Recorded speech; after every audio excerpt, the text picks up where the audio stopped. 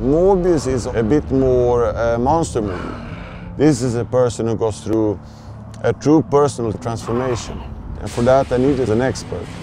I met with Daniel Espinosa, director, and Lucas Foster, and we showed them our work. We're super lucky to have him. He was nominated for an Academy Award. He is working with Digital Domain for a large part of our visual effects to create the vampires and the various different transitions of the characters and the environments that we're living in. Fantastic. Matthew Butler is a brilliant visual effects supervisor. and That's what I needed. It's always a tall order to do something new in this industry. But I haven't done anything quite like this.